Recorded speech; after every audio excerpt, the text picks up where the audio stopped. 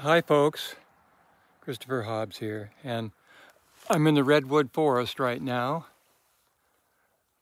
It's very still, well except for the occasional car. A lot of Redwood oxalis. And as I was going along, I noticed that there was a big turkey tail log right next to the road.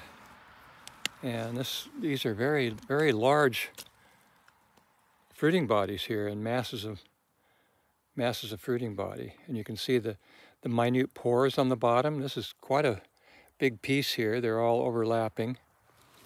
And it's Trametes versicolor, and it's called versicolor because the color can really change to blue, to tan, buff, even yellow. And they're, they're really quite photogenic and likely one of the most important of the medicinal mushrooms.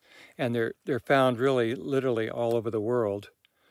Uh, well, except Antarctica maybe, but they're very common on in the woods.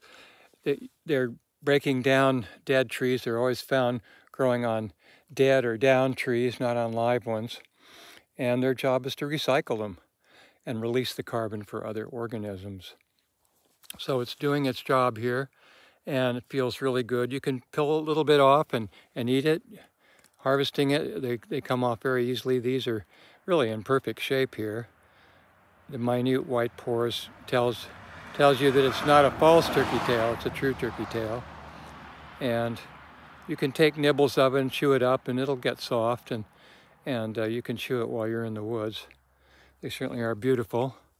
And uh, as far as clinical studies for determining how potent they are in clinical applications, like especially in cancer programs along with chemotherapy. There are human clinical trials. Turkey tail are the highest mushroom uh, in, in the fungal kingdom that I'm aware of in beta glucans, in the immunomodulating beta glucans, 1316D beta glucans. And uh, so they are very desirable. You can boil them down. Uh, check out my new book, which is Christopher Hobbs's Medicinal Mushrooms, uh, the, the Essential Guide, and which is out now. And it'll tell you how to make medicines, how to boil it down and make a powder, an extract powder. They have to be heated. And then take it, you can take them every day to prevent infections, to stay healthy during the cold and flu season, and much more.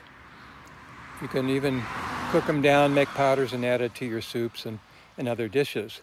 So this is really nice to see. Trametes versicolor. And it's a, it's a really healthy looking patch here. So hope to see you on one of my podcasts or courses. And so get out there and, and take a look. Bye for now.